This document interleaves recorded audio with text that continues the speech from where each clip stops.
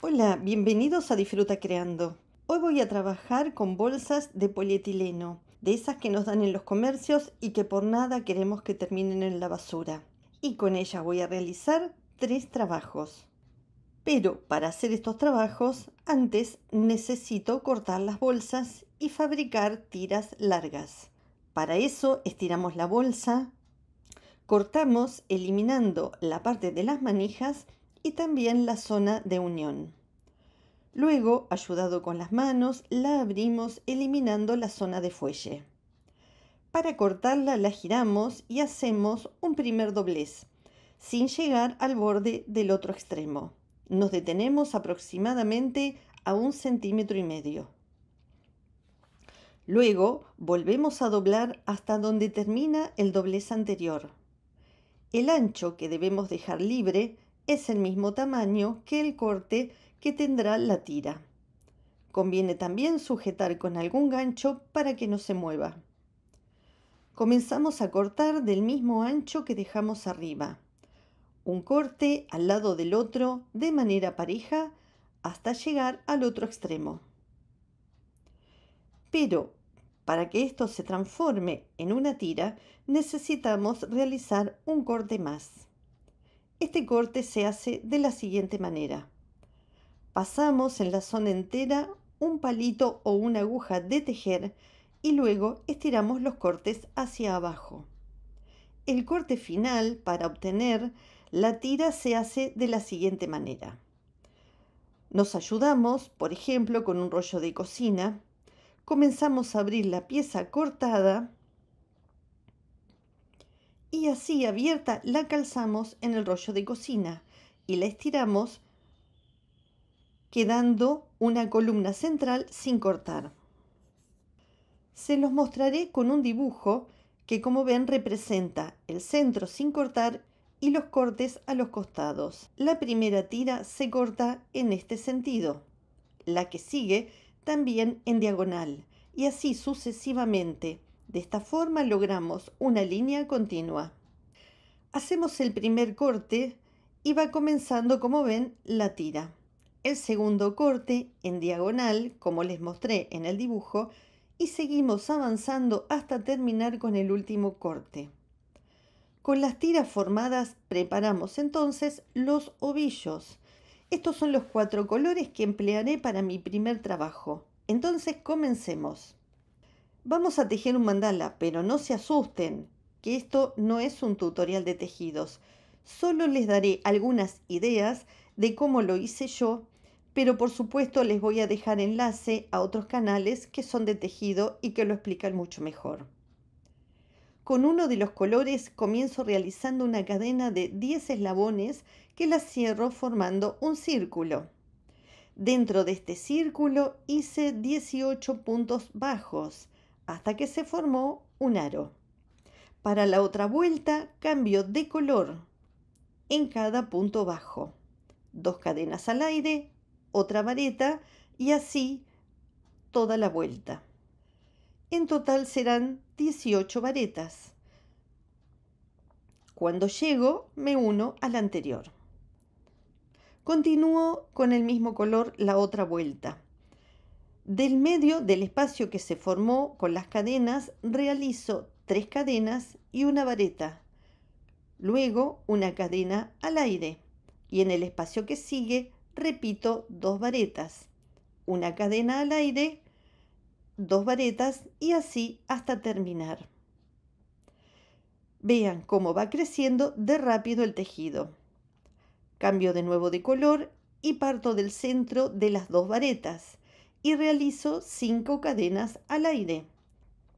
Un medio punto en el medio de las dos varetas que siguen, de nuevo cinco puntos al aire y otro medio punto. Y así hasta terminar la vuelta. La próxima vuelta voy a trabajar dentro de los arcos. Un punto bajo, una media vareta, dos varetas enteras, otra media vareta y un punto bajo, quedando así formado esta onda. A mí me encanta tejer y principalmente tejer al crochet. El paso a paso, como siempre, se los dejo en el blog donde pongo las fotos que pueden ver con mucho más detalle y detenimiento.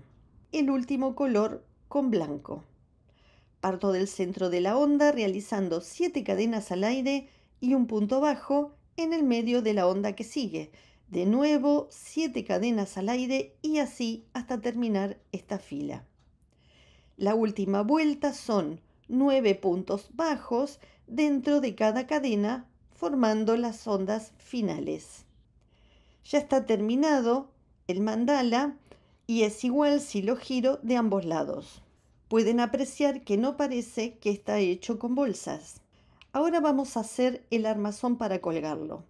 Para eso partimos de una percha, la separamos como si fuera una sola pieza y la estiramos, dentro de lo posible ayudados con una pinza porque suele ser bastante duro el alambre.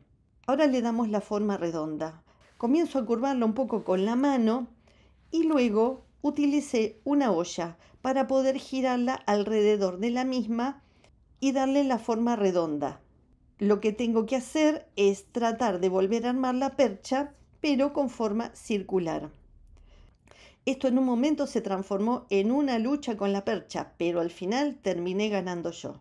Una vez que ya tengo el armazón, voy a probar el mandala para ver el tamaño que tiene y si me coincide. Lo sujeto con unas pinzas para que no se mueva. Para sujetarla enhebro una aguja con la tira que usé en el último color y comienzo a coser el mandala. Lo sujeto al alambre de cada una de las ondas finales del mandala.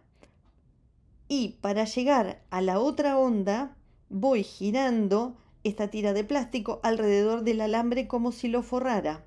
Y así llego a la otra curva del mandala que también vuelvo a coserla y así recorro todo el círculo hasta que toda la pieza tejida queda unida al aro. Aquí ya está el tejido unido. Ahora voy a hacerle unos colgantes de adorno. Con la misma tira blanca tejo una cadena de 25 eslabones y la cierro con un trozo de tira que sobresalga. De otro trozo de bolsa que tiene los colores del mandala, lo doblo en varias partes y recorto unos flecos de unos 5 centímetros. Los abro y obtengo una tira de flecos que pegaré a la cadena que recién hice. Para pegar usaremos o silicona o pegamento universal, ya que no nos sirve la cola vinílica.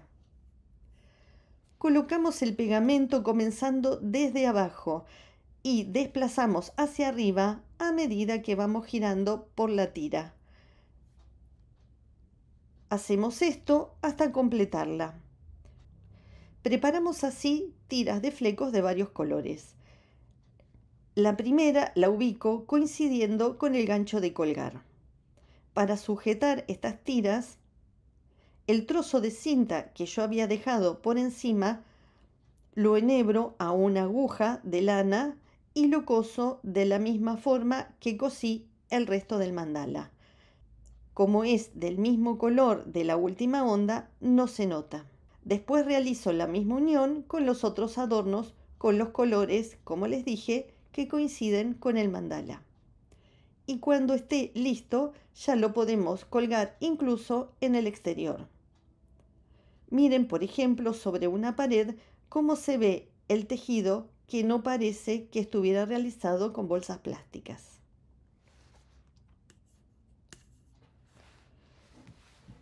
Segundo modelo. Ya lo tengo tejido previamente porque es exactamente igual que el anterior, pero lo realicé, como ven, con un solo color de bolsa, que es esta bolsa transparente y que le da al mandala un brillo muy lindo. Tengo aparte ya preparado el aro para coserlo en él y esa costura la hice igual que en el trabajo anterior. Les va a quedar así. A este mandala le voy a aplicar algunos adornos de un collar que reciclé. Aquí también podemos reciclar esa billutería que ya no usamos. Enhebro una aguja con hilo de nylon en este caso, que es más finito y más fuerte. Y elijo los espacios donde voy a coser estos adornos. Sujeto primero bien el hilo al tejido y paso una cuenta de color naranja que coso y adhiero bien al tejido. Coloco todas estas cuentas de color naranja dejando siempre un espacio libre en el medio.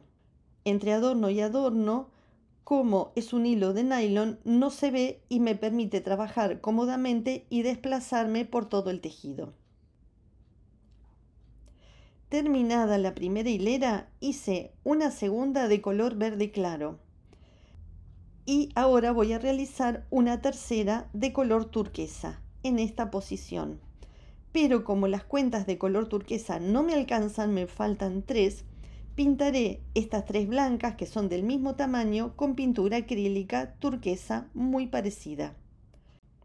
Como el espacio donde las colocaré es más grande, decidí usar piezas más pequeñas de los otros colores y combinarlas de a tres, con la pieza más grande turquesa en el centro y cosí todo hasta terminar el círculo. Una vez terminado, colocaré estos adornos que son unos colgantes que ahora les explico cómo hacerlos.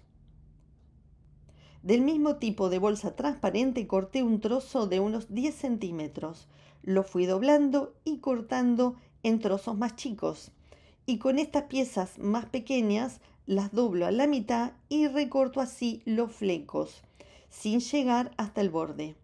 Los abro con ayuda de un palito y luego con un trozo de hilo de nylon los ato por el medio. Hay que hacerlo con este hilo fuerte, ya que si usáramos la tira de las bolsas se nos rompería muy fácil. Lo doblo por la mitad y así, con un trozo del mismo nylon, colocando primero pegamento, lo envuelvo para que se pegue bien. Hasta que se pegue le coloco un broche sujetador. Una vez seco, con el hilo que quedó, enhebro los adornos de colores a los primeros también les coloqué pegamento para que no se muevan. Luego los de arriba los dejé sueltos. Los cosí en el mandala en posiciones cercanas entre sí empleando la aguja. Este es un colgante reciclado al cual le puse muchísimo color. Fíjense qué lindo queda colgado entre las plantas moviéndose con el viento y cómo resaltan los colores de los adornos que elegí. Vamos con el tercer y último modelo. Este es para los que no van a tejer el mandala. Solo vamos a realizar cadenas. Esto es muy fácil. Utilizo las tiras que me sobraron de los trabajos anteriores. Una vez que ya tengo las cadenas, una punta de ella la ato en la parte superior y la hago llegar hasta la parte opuesta a la atadura. Achico la cadena que sobra y antes de unirla aplico sobre el alambre pegamento para que no se me mueva. Enhebro una aguja con el sobrante de hilo para comodidad mía para sujetarla bien y con el pegamento evito que se deslice. También preparé más cadenas del mismo color que las ubicaré en forma paralela entre sí al principio. A todas les coloco pegamento para asegurarme de que no van a moverse. Ubicadas estas tres cadenas, coloco otras del mismo color en forma horizontal, pero decidí pasarlas por encima y por debajo de las anteriores como tejiéndolo como si fuera una canasta. Vamos a obtener este cuadriculado. A continuación preparé cuatro cadenas de color amarillo que pegaré en estas posiciones. La forma de hacerlo es siempre igual en cada una. Recuerden siempre entrelazar las trenzas amarillas con las verdes. Y por último, cuatro cadenas de color lila. Así se puede ver cómo queda el tejido, como si fuera una red. El próximo paso es realizar una cobertura en forma de marco alrededor del alambre. Para ello tomo dos hilos de diferente color y realizaré con ellos una cadena igual que las anteriores pero más gruesa. Antes de pegar esta cadena recorto los sobrantes ya que como están pegadas no se salen. Y así nos queda bien prolijo. Para pegar esta trenza grande utilizo una pistola de calor y aplico la silicona de a poco, trasladando la trenza a medida que agrego el pegamento. Además, estoy reforzando la unión de las cadenas anteriores. Para hacer los adornos recorté un rectángulo de un trozo de bolsa y con hilo de coser y aguja hice una bastilla con puntada larga. Después tiré de ambos lados del hilo y fruncí la pieza. Y a la vez que la fruncía la iba girando. Con la misma aguja fijé la forma que me había quedado. Lo que sigue es darle forma de pétalos. Hice también esta otra flor con una bolsa de color amarillo que es un poquito más rígida. Estos son unos flecos más largos de color verde que quiero combinar con las flores. En la parte superior até un moño con dos colores de estas bolsas que me habían quedado. En la parte inferior y empleando la pistola de silicona pegué primero los flecos verdes y luego las tres flores como si fuera un ramo.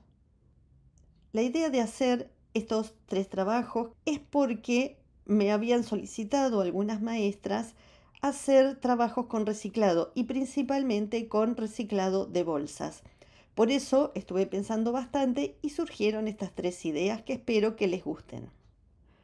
Yo les agradezco haberme acompañado y los espero en un próximo tutorial. Muchas gracias.